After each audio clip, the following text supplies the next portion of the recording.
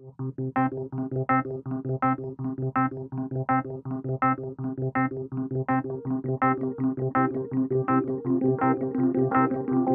afternoon, everyone.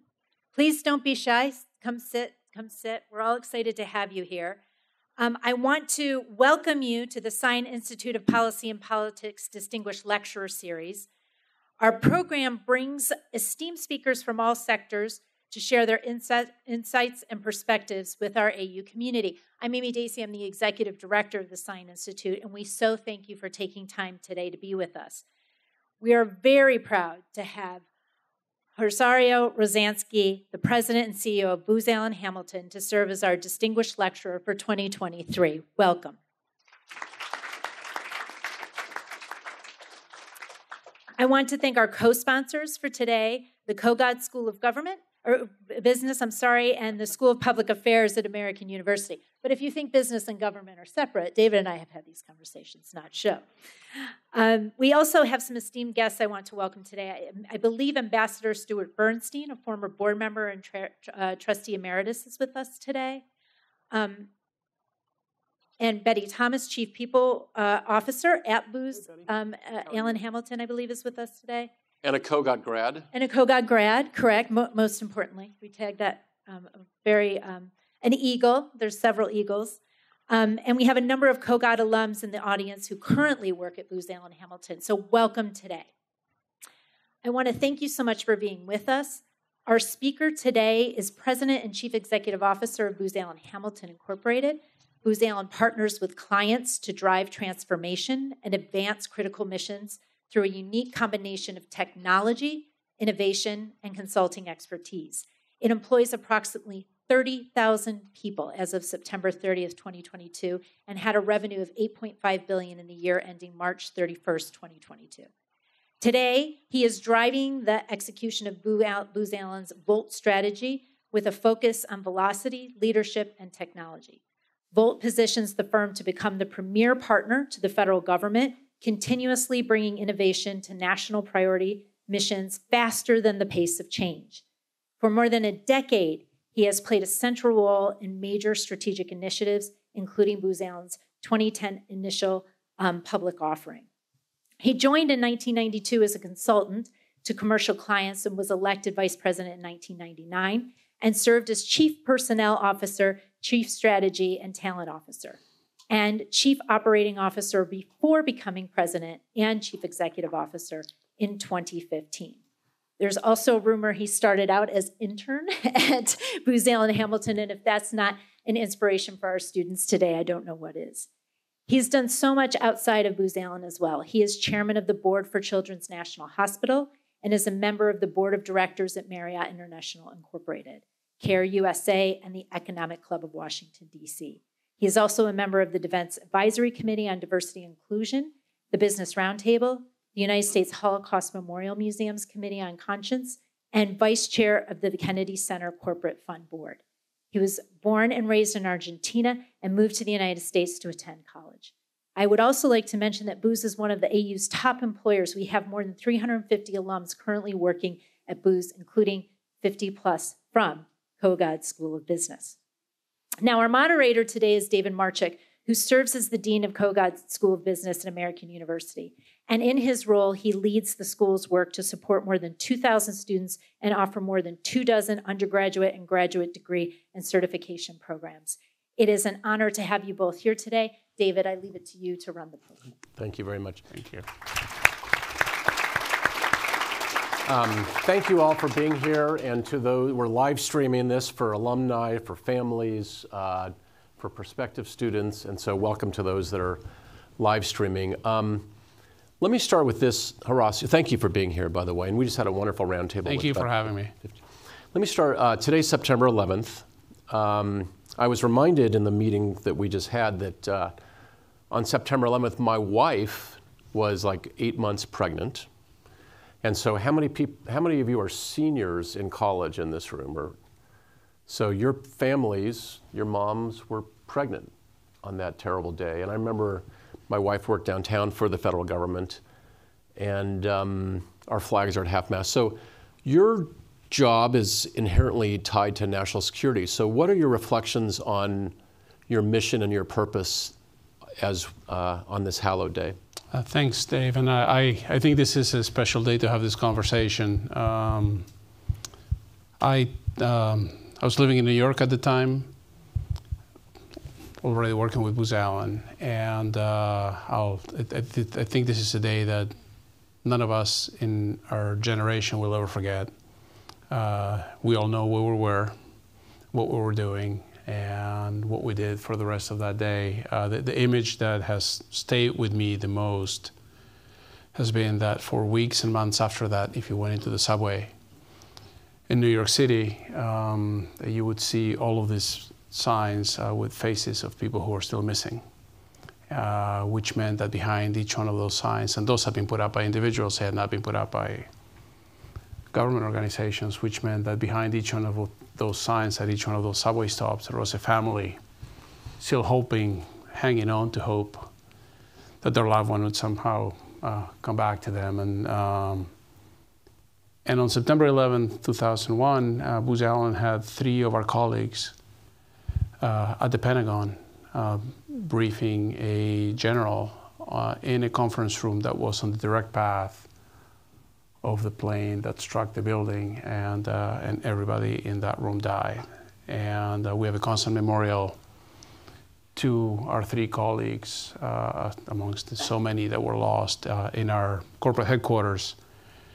And, uh, and this ties to purpose. And, um, you know, we, we are one of the companies, not the only one, I, I like to believe the best one, at, at bringing new ideas, transformation, and technology to our government uh, across all aspects of our government to hopefully prevent things like that from ever happening. And as I said upstairs, as we were looking out the window at the flag at half mast, uh, to ensure that none of that, that every single one of the young people that uh, we as a nation put in harm's way to protect our freedoms and our way of life can come back home safe. Um, it's, it's interesting to, you know, again, over the course of a career, uh, you, you, your, your own prism changes as, as you look at these things. And, and now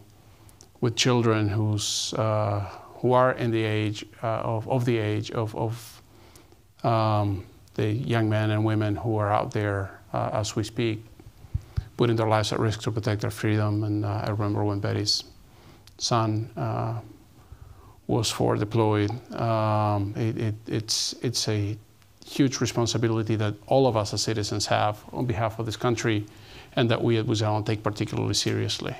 Well, thank you for your service. Thanks for everything you do to, to protect our country.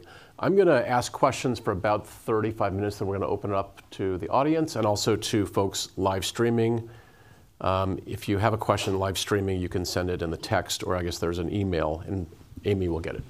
So let me just let me start with talking about your upbringing. So you are you're an immigrant running one of the most important companies for U.S. national security. Um, you actually how did that happen? Uh, you actually grew up uh, when Argentina was essentially a military dictatorship. Um, so, what do you remember from that time period, and how did that time period, uh, when you lived in a non-democracy, affect your path? So it's it's you know. First of all, let me start by saying that I, I had a very happy childhood. Uh, you know, because I'm going to tell you some things about Argentina that sound pretty horrible, and they were. Uh, but at the individual level, you know, loving parents, uh, loving family, um, we, you know, and, and, and frankly, when you're a child and you don't know any better, right? I mean, you grow up how you grow up and you see the things around you and what may not be normal to anybody else in the world is normal to you because this is what you know. And so when I was a kid growing up in Argentina and you know in grade school, uh, we learned to march and stand at parade rest and a lot of yes, yes sir, yes ma'ams, and you know we wore uniforms and your hair had to be cut to two, I think it was two fingers above your collar, If not, I don't uh, have that problem, but uh, if not, you were sent home, and uh, and it was very a lot of patriotic songs, and, and it, you know a, a lot of it was a very regimented. Um, regimented way of living. Uh, they, they, they had a huge advertising campaign, which purportedly was about people not honking their horns on the street so much uh, that that um, it was the, the, the, slogan was "Silence is healthy." El silencio es salud, uh, which the undertone of that is just you know keep your mouth shut. Uh, but that's how we grew up, and that's what we knew. Uh, things you learned, and I'm not sure if I learned this from my parents or from my friends in school or how it came about, but there are things you just knew. So you knew, uh, I, am Jewish, you knew that you never told anybody that you were Jewish. Uh, because people who disappeared, and 30,000 Argentinians disappeared, never to be seen again, uh, were, you know, uh, being Jewish gave you a higher possibility, higher probability of, of disappearing. Uh, you knew that if a police officer was walking down the street towards you, you crossed the street and you went down the other side. You knew to bring your ID. Uh, you knew a number of things. And you knew that at any point in time, if you didn't do any of that, uh, you might end up in the trunk of a car uh, never to be seen again, never, never ever anybody to be held to account. And there's some great movies about Argentina that that time period that are terrible but worth seeing. There's a recent movie on Amazon Prime called Argentina 1985 about the trials of, of some of the people that perpetrated this. Uh, uh, it's, it's terrible and terrifying. But when you live through that and you're in the middle of it, you don't see it. It's, it's how you live.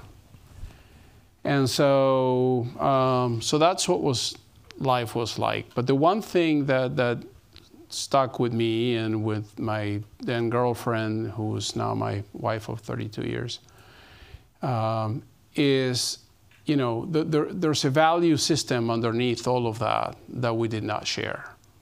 And so, if you ask me what propelled us to leave and come here and become immigrants when we didn't strictly have to. We weren't being prosecuted. We, you know, there was food on the table, and so many people come to this country without any of those things and without any other options. Uh, was was that real disconnect between our values and the values of the society we found ourselves in? So, you and your then girlfriend um, decided to go to the college in the United States. And most immigrants end up in Washington or New York or LA or big cities. So you ended up in Eau Claire, Wisconsin. How did that happen? At the University of Wisconsin, Eau Claire. Well, University of Wisconsin, Eau Claire. So you know Which that is basically that, a that, rural cow town, right? It's not. It's, Okay. it's a college town, but, but yes, it's in the middle of dairy country, Okay. uh, USA. Um, you, you know that saying uh, is, is better to be lucky than smart. Uh, that applies to me. Uh, in, in uh, you know, they, they could put that on Wikipedia and put my picture right next to it. Um, so uh, I, I think you guys might have a hard time uh, connecting to this image, but I went to the library, and they had books in the library back then. and I borrowed the book of all U.S. colleges and uh, no internet, right? I mean, this, is, this was my source. And each book had one page per college and a rating system. And so we were looking for at least three stars and at most two dollar signs. That was our decision criteria. Uh, so we ended up writing to a whole bunch of schools that met our decision criteria we ended up in Eau Claire and not the larger schools in the University of Wisconsin system because Eau Claire is alphabetically the first school in the University of Wisconsin system. Okay. You can tell there was a lot of uh, the scientific met- method alive and well in this okay. whole, the mind of an 18 year old. Uh, and uh, then they were very kind. They gave us, uh, first me, and because Cynthia came a year after I did, gave me a scholarship uh, and, and, and, gave us credit for all the undergraduate work we had already done in Argentina, and that sealed the deal. And I have to tell you, uh, probably the best decision one of the best decisions I've made in my life, other than, than, than meeting and marrying my wife. Uh, and then joining Booz Allen years later. The, they, th- there's something to the American Midwest. You talk about values. Uh, there, there's just a kindness to the people that took us in that, that helped us learn about this nation, that were patient. Uh, the, the, professors were amazing. The amount of time that they took to just take us through things that we had no idea how things worked. Um, they, um, it, it, was just incredible. We had a host family. Uh, ultimately, we, we got married in their backyard.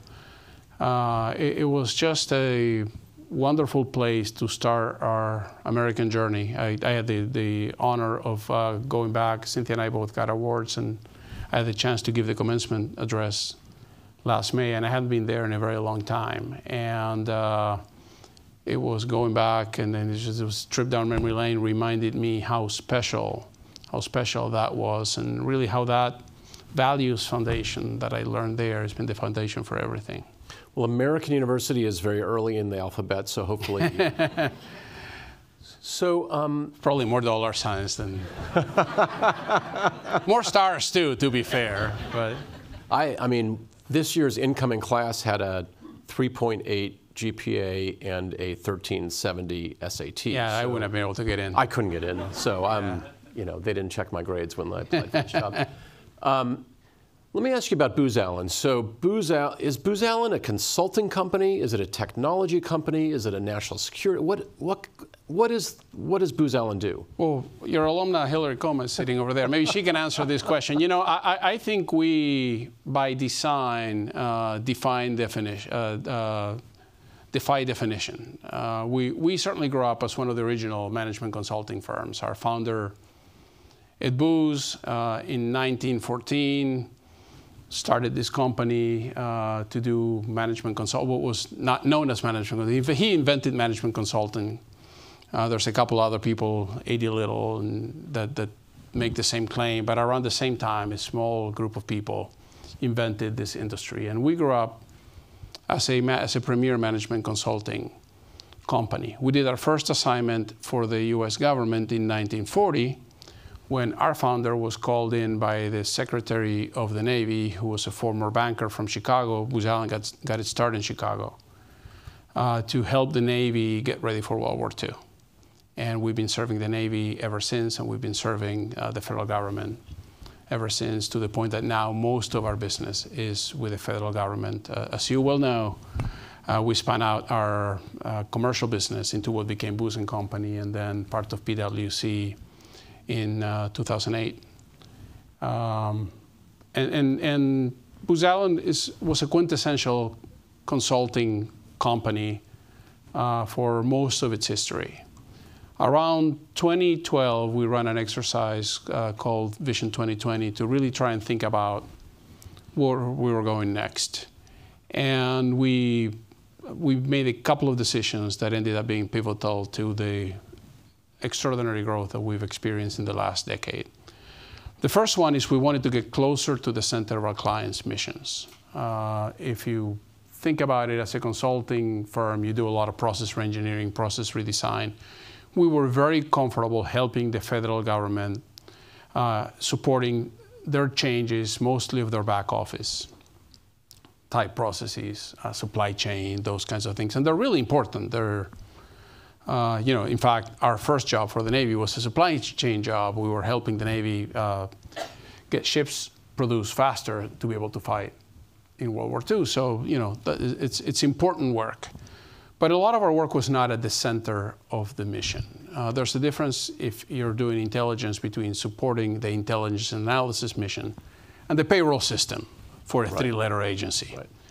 Um, now, if you don't have a payroll system, the people that are supposed to do the intelligence mission don't come to work because people like getting paid. So all of these things are connected. But we really transition our, our business much more to the center of the mission around protecting people, protecting troops, uh, creating intelligence analysis, helping drive changes to public health from as close to the mission as we could get. And then the other thing we realized is that those missions were about to change drastically because the big uh, wave of change that had gone through the private sector driven by technology was beginning to hit uh, the government with the same level of force only about a decade later, right? So you and I both went through the dot com. Uh, the government saw the dot com, but it didn't really affect them. Uh, by the, the early 2010s, it was really clear that, that everything was about to change. You know, cloud was being discussed, a number of things that were going to be transformative technologies. And we, if we really wanted to affect the center of the mission, we had to get much better on those technologies. So you look at Booz Allen today, our workforce is about 60% technologists of different varieties. And then the rest is a mix of people who are mission experts, perhaps because they lived those missions before coming to Booz Allen, people like me who are former consultants. Uh, when you say technologists, it doesn't mean that they have to be programmers. It means they have to be, like, for example, at Kogod, we focus on helping business people use data and technology to make better decisions, right? As opposed to kind of the programmers or the. We would put that skill set, which is extraordinarily valuable, in the 40%. On the okay. 60%, we have people who are really architects. I got it. Okay. Coders, um, engineers, people who are, you know, scientists, people who really understand physicists. I mean, we're doing a lot of work on quantum these days, and you know, and there's there's multiple aspects to quantum, from actually being able to leverage that technology and do the programming and building the tech stacks and everything else, to figuring out, okay, if encryption changes tomorrow drastically because quantum can blow everything up, how will companies and institutions have to change? Got it. And, and we work, the, the, the reason we defy definition is that we work that whole spectrum and integrate it. Uh, what, what makes us different and the reason we have been so successful so far is that because we understand the mission and we understand the technology, we can really work with our clients so that they build technology that meets the requirements, the real requirements of the mission, as opposed to, yes, we built you the system, you ask for 10 things, the system does all 10 of those things, but a soldier will never use it because you forgot to specify that it could not be 900 pounds. Um, we're, we're in the business of, of working these technologies back from the mission understanding as opposed to here's the technology, good luck with it. it. Now, the, the focus of today is AI and national security. And I mean, we're still learning about AI. All of a sudden it exploded, but AI has been around for a long time. But at lunch, actually, you told me a great story about work that Booz Allen did to, and your partners to support the federal government with, remember the balloon that came across the United States over Montana? So you all used AI to actually help the government figure out what was going on with that. Maybe you could just tell that story as an example of how AI is helping our national security. So I won't take credit for that. This is a company called Synthetic AI. We're an investor in them, but it's a great story because we can talk about it. A lot of the work that we do, unfortunately, we cannot talk about. Um, so Synthetaic is a fascinating company. They, they, their original thesis was around building synthetic data. Why? Because in national security, the big challenge, synthetic data means the computer creates images, for example, that then another model is trained on. Why is that important? Because in, in national security, in a lot of cases, uh, there, there isn't a ready supply of data that you can use to train models on. So, you know, if you're looking at faces and you need to train a model to do face recognition, you can go on the internet and scrape bazillions faces and all of that. If you're looking at a particular model of a Russian tank, uh, there aren't as many pictures of that particular model of a Russian tank in the rain, in the snow, in the desert, against this background, against that background, and all of that. Uh, from, the, from, above, from this side, from that side, all the, you know, so you, don't have the million pictures you might need to train a model to recognize that vehicle. So what do you do? You create synthetic data. Uh, you take the, the basic tank and then you use an AI to, get, to create images of that tank against different settings. So kind of think of CGI in the movies uh, to as an approximation. That's not correct, but I think it'll convey. Um, so, but then what they discovered is that actually the models that we're using to create these pictures and the, have value in themselves because they could assimilate and, and recognize these strange objects against almost any background because they were creating it. So what the founder of this small company did when this whole spy balloon story, uh, and this is in the New York Times, so you can find the article. Uh, it's, it's a fascinating story. Uh, they, is, is, it, over the course of a weekend, he and his team hand drew what this balloon might look like uh, from an aerial satellite picture and fed it into their model. And then they used this model to go back through all of the publicly available data on aerial photographs that they had in the United States and found the balloon and were able to trace it back through time, through its entire trajectory to its point of origin. Think about that. Uh, this is an impossible task for humans to perform. It doesn't matter how many people you throw at this problem. How do you have people looking at the whole country and then potentially an entire ocean over weeks of time in individual photographs. It would be like to find, find this tiny little white circle from the very, very top. It's an impossible task. They got it done in a weekend. Uh, think about the, then think, think about a, a, law enforcement. You know, there's a, say, I don't know, somebody robs, I don't know why people rob banks anymore, but say somebody robs a bank and they're leaving. And you know, just like in the movies, you know, you have all these ATMs that are potentially taking pictures of, of the streets that they're on.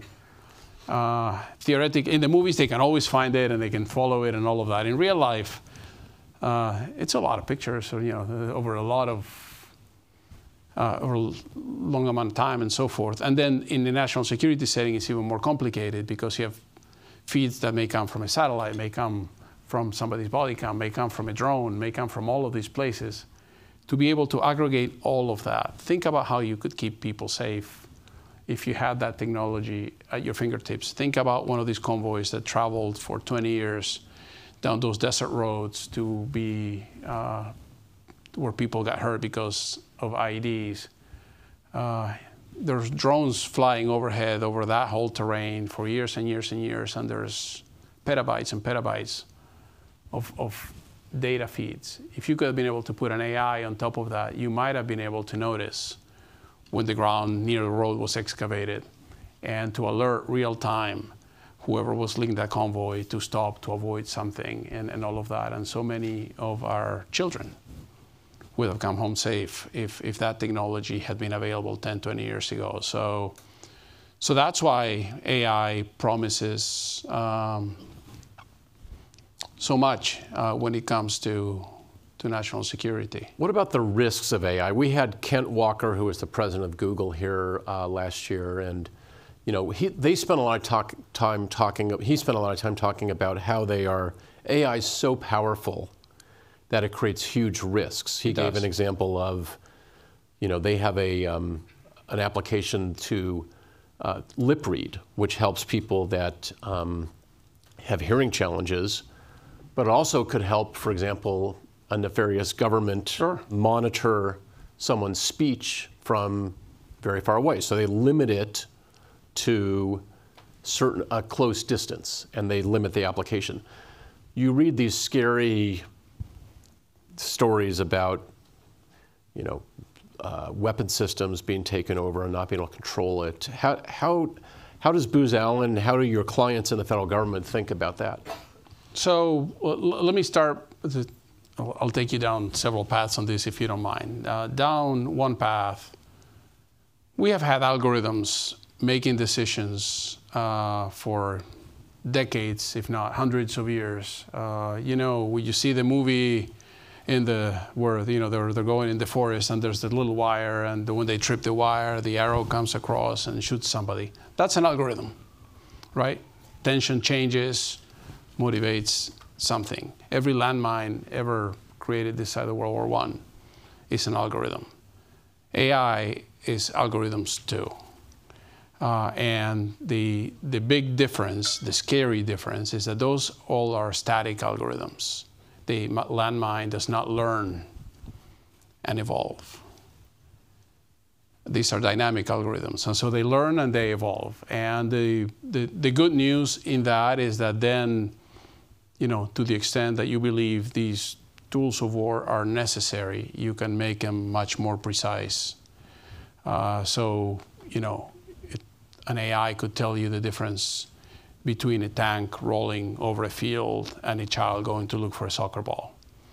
Um, that's the, the bad news is they're a lot more powerful and they can drift and they can create tools of destruction we have not thought about yet.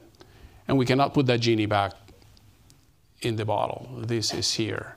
And it, this is as scary in some ways as nuclear technology and scarier from the perspective that to have a nuclear program, you need to be a large nation and devote a lot of money and a lot of time this is very little money and very little time by comparison. So that's the scary part. The second scary part, uh, now that you launched me down the scary road, I'm going to actually leave. And, uh, uh, is, is that if you think about it, um, we tend to, as a society, focus on the positives without focusing on the negatives of these technologies when we launch them. Uh, if you go back uh, I actually, I, I, looked this up on the internet, so it must be true. Uh, so, right, invention of the telephone, 1860s. The first telemarketing call, 1960s. So it took 100 years for the telephone to ruin dinner. Uh, invention of email, 1960s. First uh, wave of spam, 1980s. So it's only 20 years till we learned to use uh, email for uh, to to ruin email.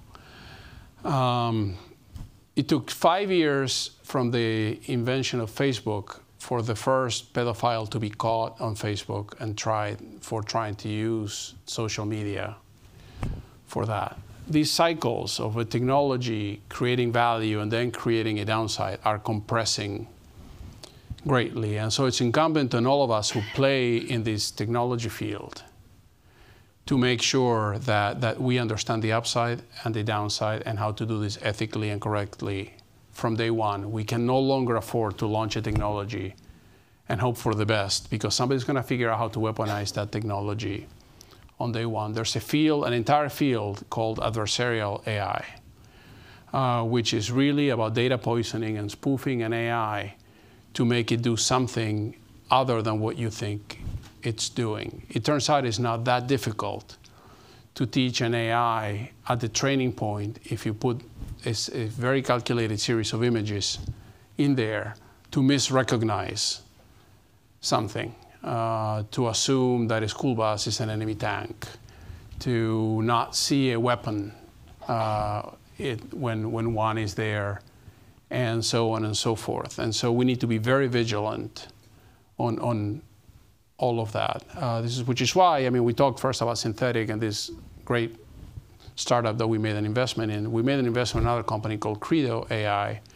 Uh, and what we're working with them on is, is in their field is, is responsible ethical AI, AI that conforms to the rules and regulations of the jurisdictions in which it is being used. I, again, I'm, I'm an optimist. I really believe that it's while the bad actors are probably going to use AI more quickly because they don't share our value system. It's ultimately our adherence to our value system what is going to make us successful and make AI successful in the end. Because the, the fundamental for any technology, the fundamental reason that people use it and continue to use it is trust.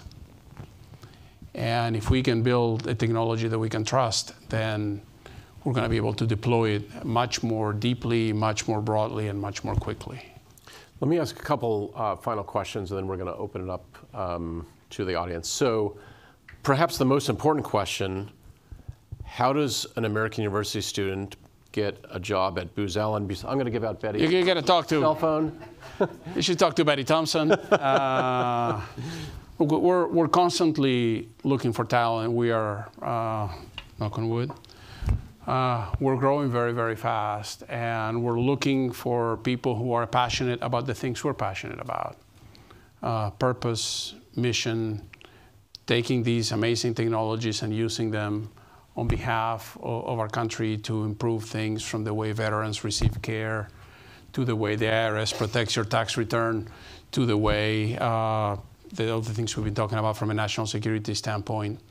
Um, so, so that's what we're ultimately looking for the most. Uh, go to our website.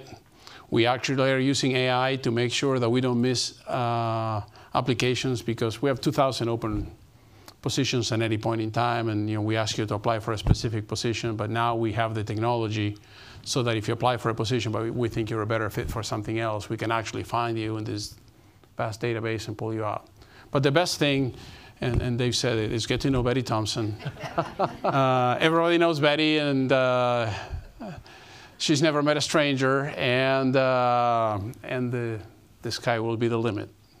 Okay, let me, final question, then we're going to open up. How does one, what's your, 90% of American university students have one internship, and 60% have at least three during their college years. So what's, what's your strategy for going from intern to CEO? well, first, number one, stick around. Uh, I think it's, it's a, a war of attrition. It, it, really, at some point, they had to fire me or promote me, and I guess uh, it might have been cheaper to promote me than to fire me, so they gave me this job. Um, but uh, you know, I, we talked about in the in the roundtable. Uh, I I was people sometimes ask me, when did you know you wanted to be the CEO of Booz Allen? And I, my my honest reply is when they offered me the job, I knew I wanted it.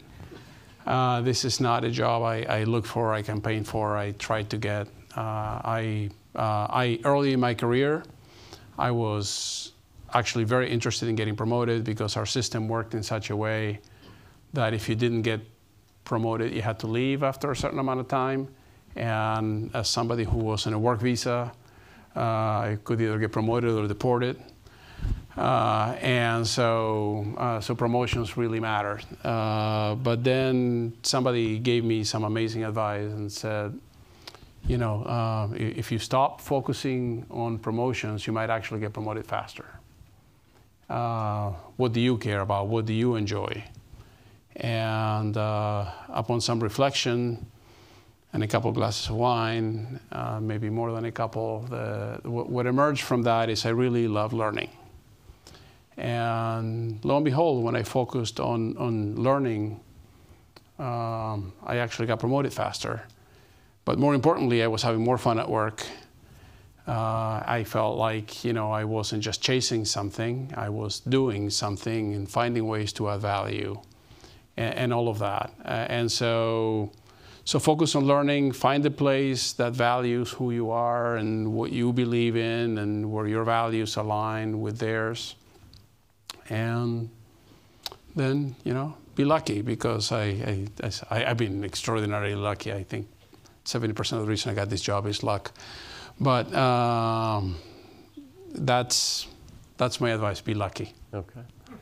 Um, let's see. We have microphones, and I think I don't know if we have online questions, but we can go back and forth. So um, let's start with you. Maybe just identify who you are, what year you're in. Certainly. Uh, thank you so much for being willing to come speak to all of us. It's truly a, a privilege. Um, I'm a second year graduate student in SIS.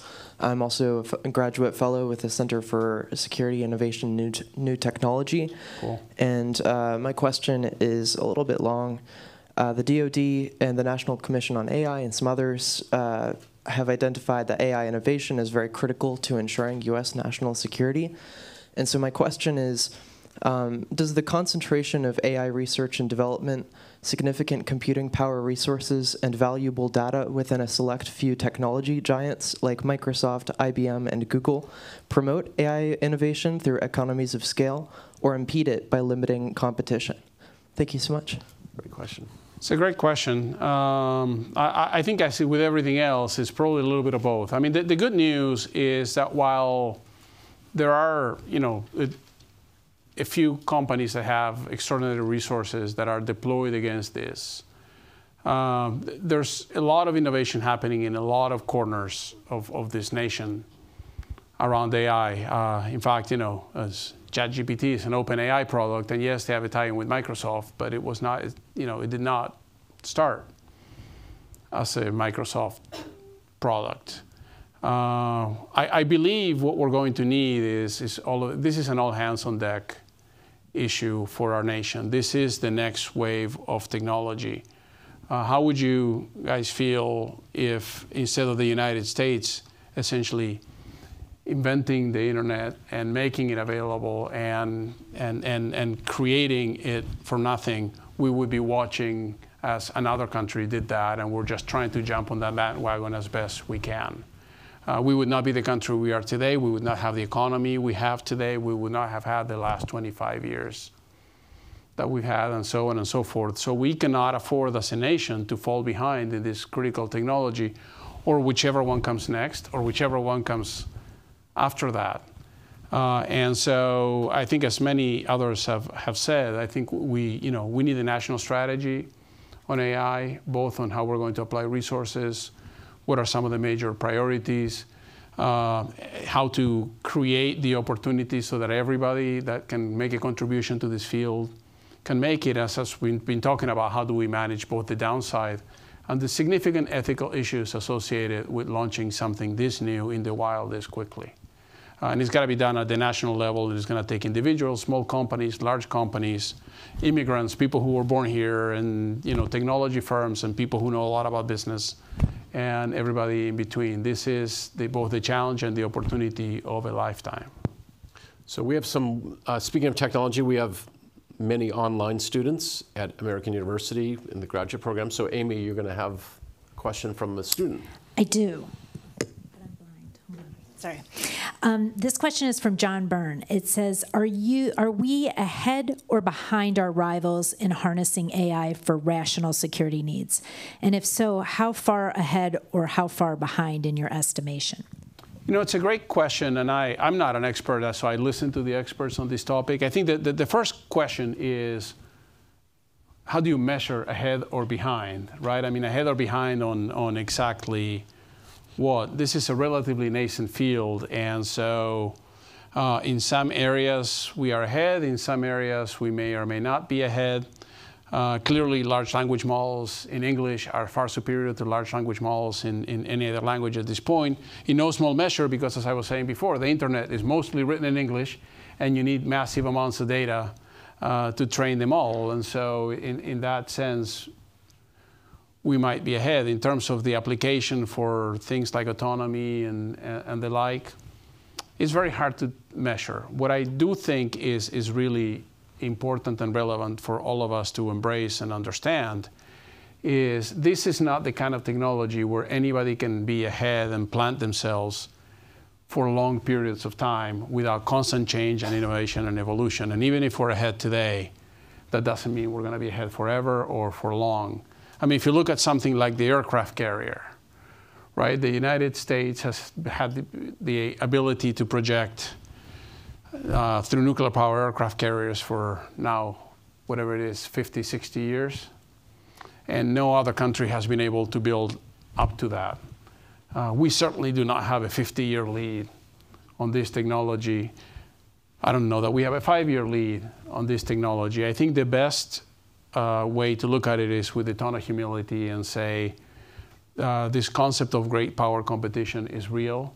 We are a meaningful competitor, uh, and we need to stay pedal to the metal uh, to either to either maintain to at least maintain our position. I'm not sure that we're going to be able to to get far uh, beyond where we are. The, the real question is going to be not just the development of the technology, but how we choose to launch it and apply it, especially in some of these key national security areas that are so vital, uh, where lives are at risk, and where I don't think where any of us is ready to delegate too much to a technology that is still in the nascent stages.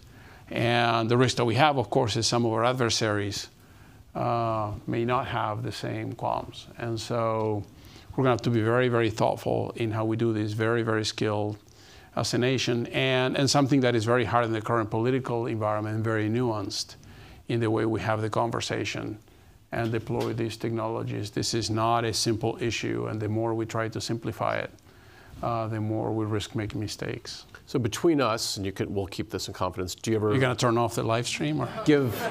do you ever give a speech or uh, have a proposal for your company for business where you use ChatGPT or AI to help you?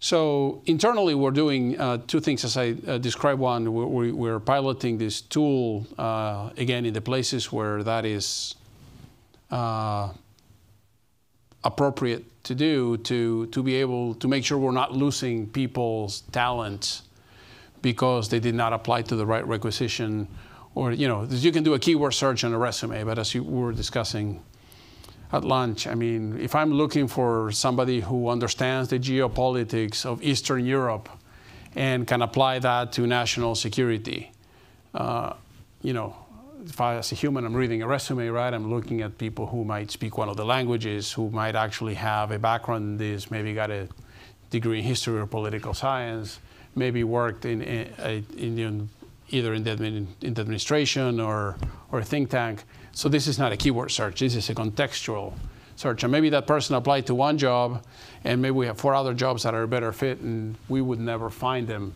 And now we have the ability uh, using AI and uh, generative AI and large language models to read those resumes and, and, and, find the needles in the haystack much, much better. And then we, we just had a conversation. Uh, we actually believe we can use AI to create first draft of proposals, uh, which for us is we write, I don't know, tens of thousands of proposals every year, and to get to a first draft that much faster, uh, we're still not ready. Uh, there's the concept in the military of human in the loop.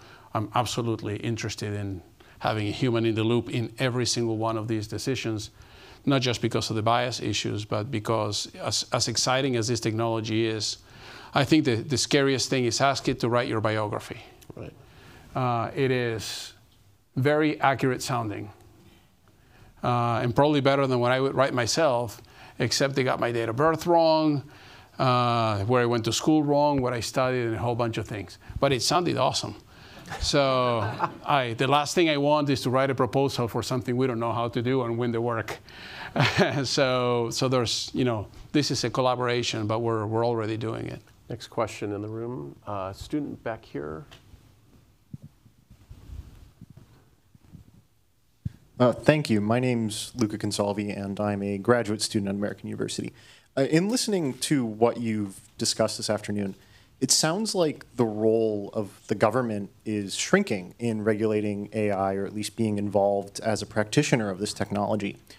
What would you say is the role of the federal government going into the future? Are we deferring to companies like Booz Allen Hamilton to execute and carry out the uses of this in security or commercial applications?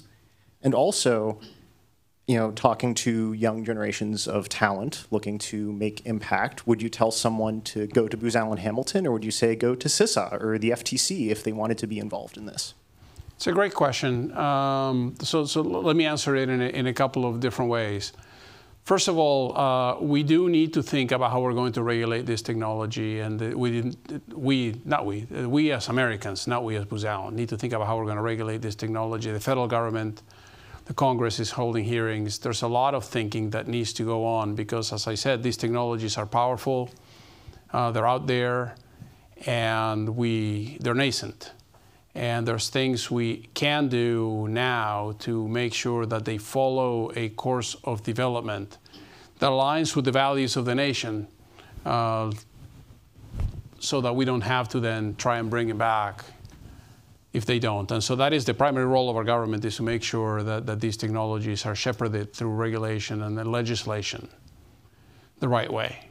Inside each of the missions of the federal government, uh, there's technology in use already, there has always been, and there will be more. Uh, that this is what we, what I've seen over the course of my career, and it's only accelerating.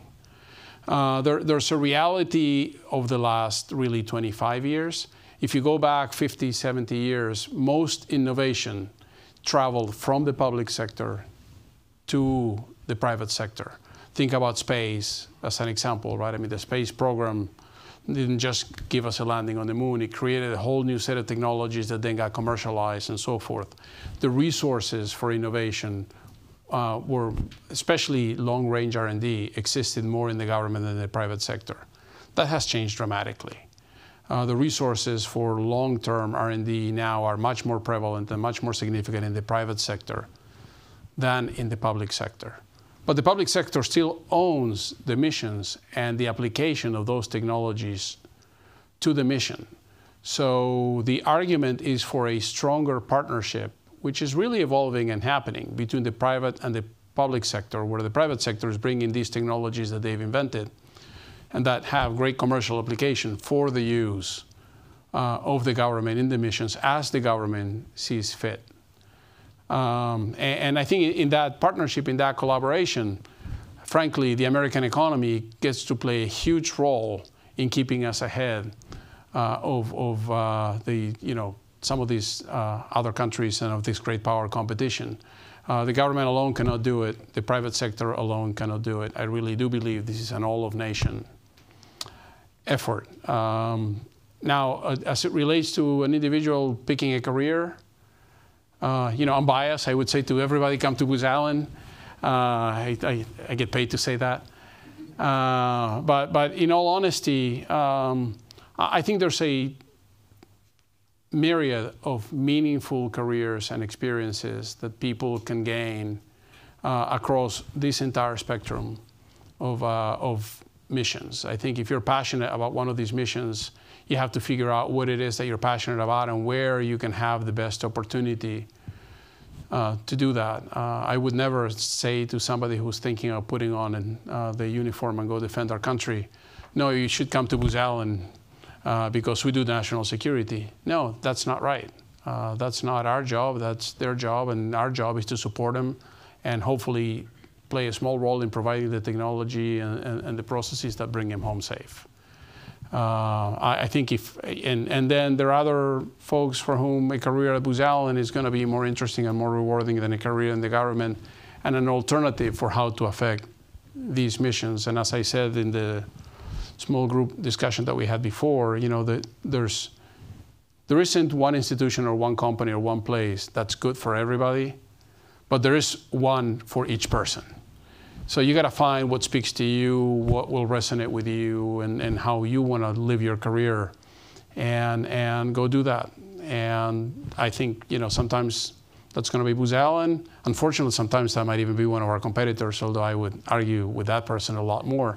But a lot of times it'll be working directly the mission inside the government as opposed to supporting the mission in the way that we do it. If I have a concern, it is really honestly about none of that if I have a concern, it's about the fact that the tenor of the political discourse in our country is such that it pushes people away from service, away from participating in these things, and to run away from all of these things as fast as they possibly can. And you know, we're seeing it in a number of areas, like the you know the, some of the difficulties that our, our uh, military branches are having meeting their recruitment numbers and so on and so forth. And so I think part of this is, you know, going back to, to the fact that today is 9-11, uh, for all of the horrific things that happened. Uh, I, I, know of a number of people who dropped everything to go participate in one of these national security missions because of what they saw on 9-11 and, and, and, for a while it, we all came together to support them as they did it and to support the nation. And so, like I said, my concern right now is not what part of this broad uh, team you you choose to play on is, but that is we, we need more people to feel that playing for this team is a good thing. Amy, last question. Thank you. We have one more from online. Um, Sheikh, who is a Kogod student in the MSSM program, his question is, what are the skill set and subjects that as a student I should develop in myself to be able to work at Booz Allen? Great question. Great question. Well, with 32,000 people, we, um, we have somebody that knows something about everything. So uh, the, the, the, I don't know that there's a specific skill set that, that, that we're looking for. As we were discussing before, maybe I'll, I'll, I'll leave you with the following thought. I, I, I, I often talk about the fact that if I think about my dad's entire uh, professional life, uh, he had to contend with one significant change that changed completely the way people worked, and was the, the, the start of the person, the, when the personal computer showed up. It changed the world for my dad completely. He was able to adapt. So many people didn't in his generation and sort of fell out of the labor force. Um, that was the upside. The downside of that generation is at the tender age of 18, you picked a major and you were going to do that for the rest of your life. So from 18 to 70. And you had to know at 18 what that was. And I don't know about all of you, but at 18, I didn't know who I was, let alone what I wanted to do. So um, I, you know, that, but that was how that went. If you look at my generation, um, we went through maybe four or five, half a dozen significant seismic shifts in what we had to learn to do to stay relevant to, to the workforce uh, and to stay valuable to the economy as, as the world changed so dramatically. I mean, when I joined Booz Allen, uh, they gave me uh, a, a portable computer. you weighed 15 pounds. Uh, you had to carry it with both hands.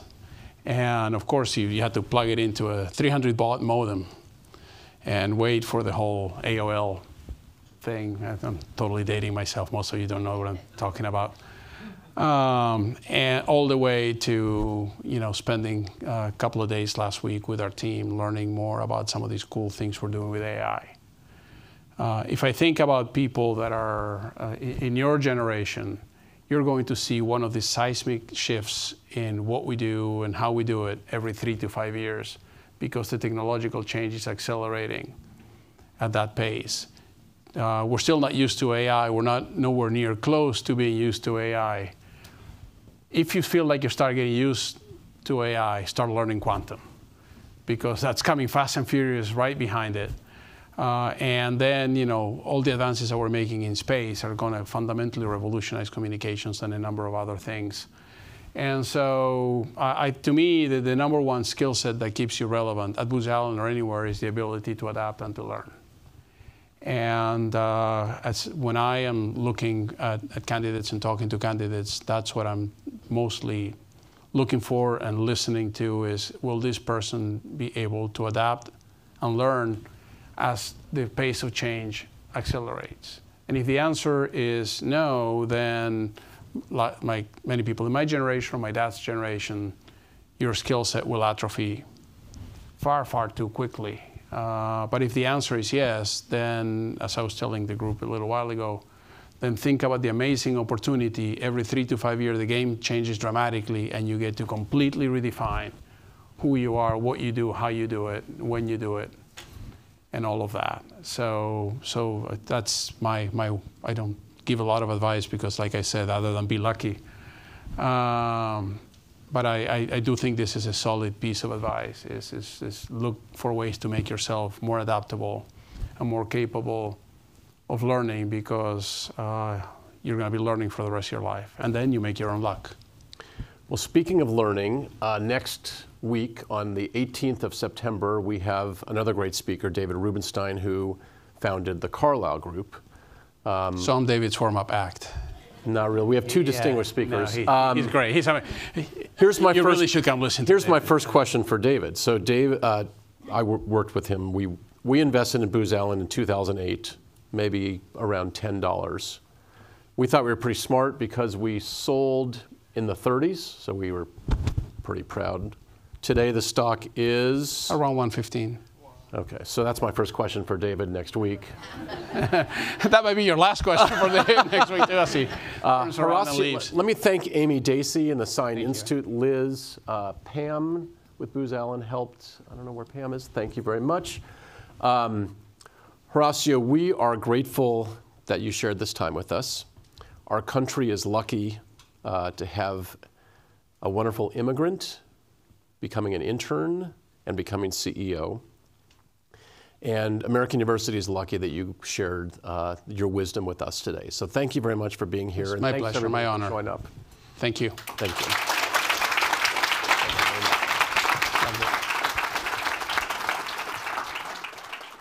Thank you, everyone. And if you have time, we have some refreshments if you want to stay, maybe meet somebody that, that came today and, and share your thoughts for um, after the uh, event today. But thank you all. And we do look forward to seeing you next week, September 21st, um, with David Rubenstein. So thank you all.